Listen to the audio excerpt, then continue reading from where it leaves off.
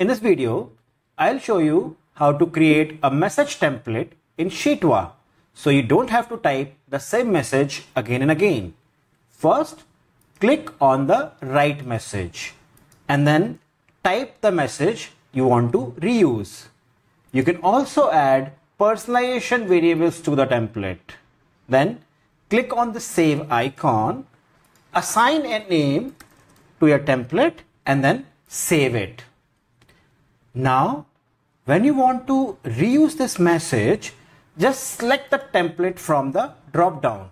It will load the message automatically. Similarly, you can create multiple templates. If I select this template, you can see that the message gets loaded automatically. Click on done and you're good to go. I want you to pay attention to one important point here. Next time, if you're using a different file, then check your personalization variables whether they are consistent with the template or not.